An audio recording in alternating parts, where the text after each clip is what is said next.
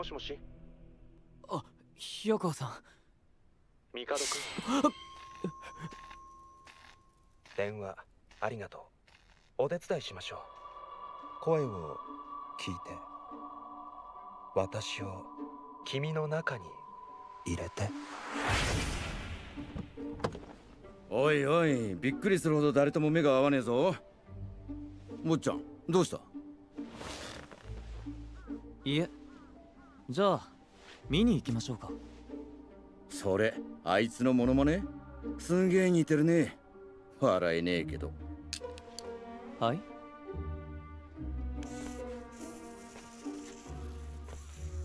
何それ？チョーク？半沢さんその端っこ踏んでください。半沢さんの信じない力強いから。はあ意味わかんねえ何これ？動いていい？ダメです。これは安全な結界なので。なあもうモノマネやめれば？あんま続けると寒いよ。うーんこれは何でしょうね。変ですね。俺じっとしてんの苦手なんだよね。なあおい冷川。はい？あれ？冷川って違うああダメダメ。ほら私に集中しないと。